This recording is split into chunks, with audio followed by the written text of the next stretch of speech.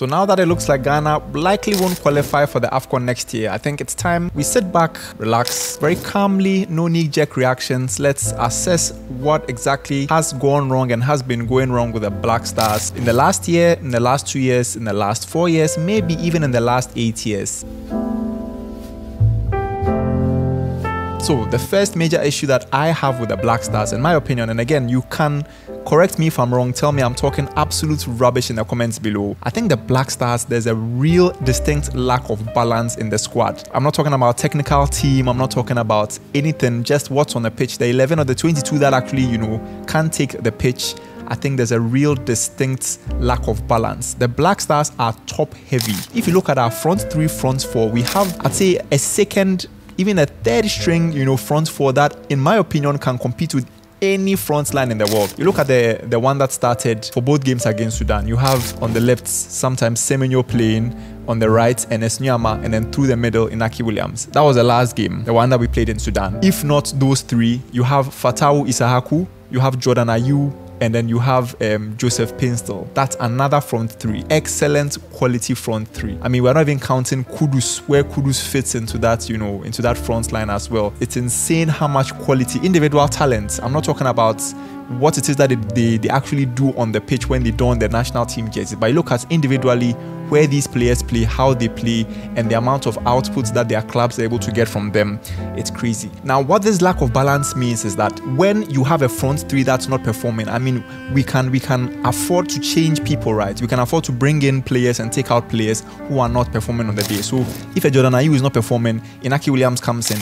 If you know um, a Joseph Paintsil is not performing, you can easily bring in an Ernest Nuamah to try and you know play on that side. Antoine Semenyo is not performing. Oh, Fatawu Issahaku comes in. In contrast, if any of our back four is not performing, like who, who do we have? We have two centre backs. We have Salisu and we have Djiku. And we saw yesterday, those guys, you know, may not be up to speed. If it's bad form, if it's, you know, lack of match fitness, it's just not happening for them. Yeah, we don't have credible replacements. And so that lack of balance is really rearing its head in the side currently, where, you know, we don't have options. Goalkeeping options, left back, right back options. You know, it's it's really affecting you know the way we're able to set up teams and the confidence we have in those players to be able to go out and deliver in those areas of the pitch. Now, I say we have some really exciting talent at the front, really world class talent in my opinion. But the problem that these players have a severe lack of cohesion with the side as a whole. Man for man, these are some of the best players in the world in my opinion. Semenyo this season is proving that in the Premier League he's one of the best attackers. Inaki Williams in Spain is world class. He's different gravy. You have Issahaku who literally carried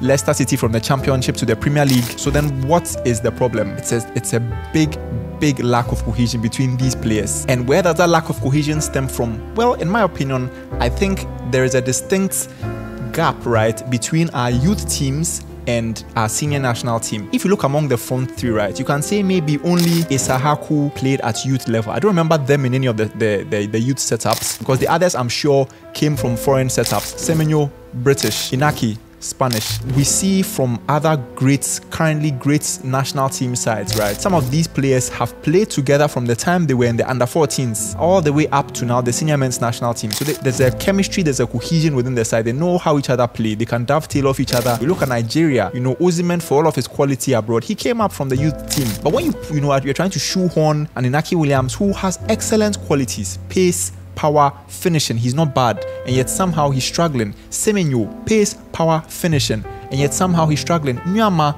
pace, power, finishing, struggling. Then you have to ask yourself the question: Is it a problem with the players, or perhaps in my opinion, is it a problem with the chemistry of the team? Let's talk a bit about the tactics as well. The tactics are too pragmatic. The last four years or the last eight years, maybe even longer, I'd say maybe the last 12 years, Ghana and the Black Stars have switched from an attacking, technically, you know, beautiful team to watch to a very pragmatic side. I remember the 2010 World Cup and the AFCON, the one goal projects, it got us to finals, it got us fine tournaments, but it really stifled the creativity of some of our key players. And we relied on moments of brilliance from a Muntari that can rifle in like a, a 40 yard shot in a World Cup quarter final, or an Asamoah who can, you know, chest the ball down from like essentially a hopeful punt and then go and score a goal. Kevin Prince Boateng against the USA, if you remember that amazing run he went on and scored. From a tactical point of view, we've always tried to, you know, show up the back, but the pragmatism has extended way beyond what you know it should for a team of our quality. And if we look back to some of our our best sides in this decade, when we were smashing Egypt 7-1 to qualify, you know, for the World Cup, we were not playing pragmatic football at the time. We, we were outscoring teams, and for better or worse, you know, I think we got found out at the World Cup where we still tried to play that level of football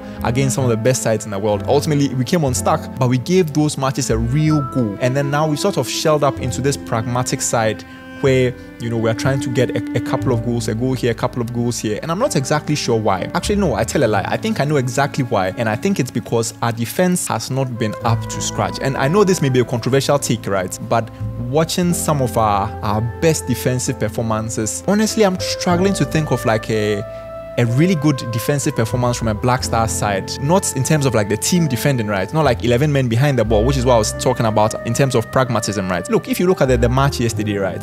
Both of the goals came from, you know, the struggles of our centre backs. They, they were beaten for peace, hands down by, you know, the Sudanese front line. It, it's not it's not coincidental then that, you know, a, a, a coach and a manager like Otto Addo is essentially shuffling bodies back to essentially try and stifle a floodgate of goals if we do, you know, try and open up the match. We look at the matches where we've actually, you know, actually done something. The, the World Cup against Korea, we conceded two goals and we had to you know, dig ourselves out. Kudus individual brilliance. The AFCON against Egypt, Kudus scored twice. We conceded two. The, the match, I think was Mozambique or the last match in our group where we conceded two goals in like two minutes to essentially be knocked out of the tournament. More and more and more and more, the managers, in order to counteract this, have, have, have resorted to these pragmatic tactics. And it's really costing us. Teams have figured out that that's what we're trying to do. So if they can put pressure on our backline. The number of times I counted yesterday where Salisu was either beaten for pace or sent to the shops by like a, a Keche, small Keche or small skill, and he's gone the other way. Charlie, it was bad. Even before the goals, they were beating us, beating us, beating us. So yeah, I think honestly, in a defensive point of view, I've talked about the top heaviness, the lack of balance,